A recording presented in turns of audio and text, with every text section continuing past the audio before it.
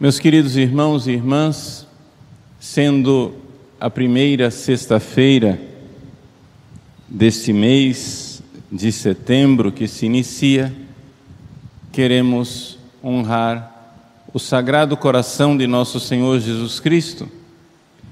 Gostaria então de fazer uma breve reflexão sobre esse coração de nosso Senhor, sobretudo a respeito do seu coração eucarístico.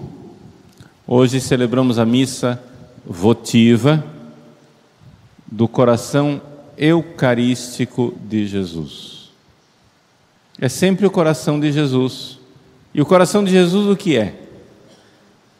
O coração é esta capacidade de amar que todos nós temos.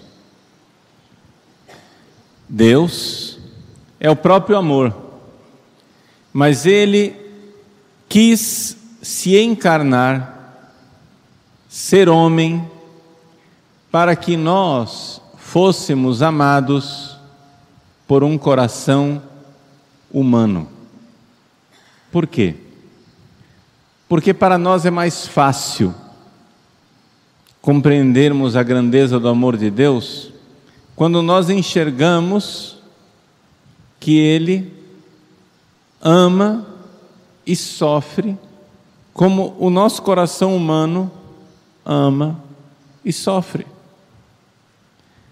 Porque para nós é muito difícil imaginar Deus de amor no céu, eterno, distante, cheio de glória e de felicidade, sem nunca sofrer para nós, seres humanos, nós que estamos manchados pelo pecado original, nós que estamos aqui vivendo a miséria do sofrimento, para nós é difícil entender que Deus, que não sofre, no céu nos ama.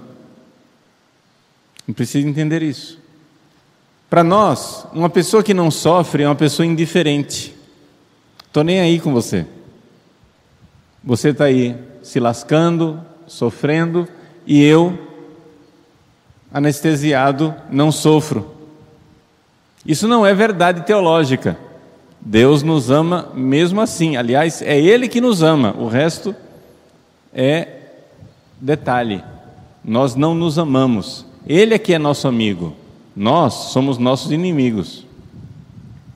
Isso precisa ficar bem claro no nosso coração. E para que isso fique claro no nosso coração, então Deus se fez homem, nos amou com um coração humano, para que nós, vendo o coração de Jesus, sofrendo, chagado, doído, ofendido, abandonado por nossas indiferenças, compreendamos o quanto nós somos amados e o quanto nós não amamos de volta.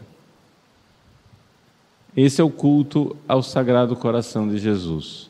Deus se fez homem e nos quis amar com um coração humano para que nós compreendêssemos o seu amor. Só que, quando nós celebramos e colocamos esse adjetivo, coração eucarístico de Jesus, nós estamos aqui lembrando esse amor infinito do coração de Jesus, como ele nos amou na última ceia. Jesus disse assim aos apóstolos: Desejei ardentemente celebrar esta Páscoa convosco. Vamos meditar sobre esta frase. Nós estamos aqui na missa. É de manhã bem cedo, como diz o cuiabano, né? Estamos aqui, desde as cinco e meia da manhã, rezando, Vamos ser sinceros. Nós, provavelmente, não viemos a esta missa desejando ardentemente estar aqui. talvez estejamos aqui meio arrastados, meio assim dizendo: puxa vida, a cama estava tão boa. A gente vai, e o despertador já tocou. Então nós vamos assim, meio sem energia, amuados, enfadados para a missa. Por amor a Jesus, é claro, mas nós, com sinceridade, não podemos dizer desejei ardentemente. Mas o problema é que nós precisaríamos desejar ardentemente. Nós precisamos pedir a Deus esse, essa devoção, esse fervor pela Eucaristia. Porque nós que iremos comungar nesta missa, e não vamos comungar desejando ardentemente comungar, estamos decepcionando Jesus, que está desejando ardentemente a nossa comunhão. Jesus neste momento, nesta Eucaristia, nesta missa, hoje, deseja ardentemente que você comungue. O coração dele deseja como nenhum noivo, marido, esposo seria capaz de desejar ardentemente a sua noiva, mulher, esposa. Ele quer a sua comunhão, ele quer que você comungue. Desejei ardentemente celebrar esta Páscoa convosco. Ele quer. E o dia que a gente não vem comungar, o dia que a gente passa sem celebrar missa, sem comungar, sem vir a Ele, o desejo ardente do coração de Jesus de se unir a nós, encontra ingratidão, indiferença, pouco caso. Nós damos de ombro e dizemos: Ah, eu vou amanhã. Ah, eu comungo depois. E no entanto, foi para mim que ele se encarnou. É importante que todo cristão diga isso. É importante que você entenda, e os santos nos revelam isso, e a teologia explica isso, não vou aqui dar explicações teológicas, porque, perdão, porque nos levaria muito longe. Vamos focar. Basta você aceitar isso. Você precisa entender que Jesus se fez homem só por você. Como se você fosse a única pessoa na face da terra. Foi só por você que ele morreu na cruz. Foi só por você que ele instituiu a Eucaristia. Foi só por você que ele fez a confissão. Foi só por você que ele, ardente de amor, com o coração eucarístico, cheio de desejo, disse: Eu desejei ardentemente celebrar esta Páscoa contigo.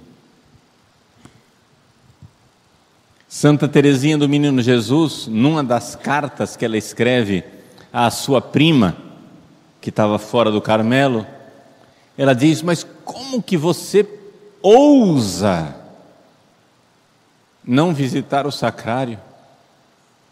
Como que você ousa não ir à igreja visitar Jesus no sacrário? Ele está lá só por você.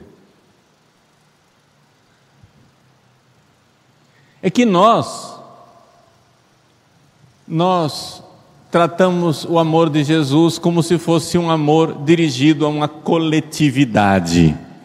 Como existe sete, existem 7 bilhões de pessoas no mundo, então a gente pega o amor de Jesus e divide em 7 bilhões de pedacinhos e imaginamos tolamente, estupidamente, que a gente recebe um sete bilionésimo do amor de Cristo.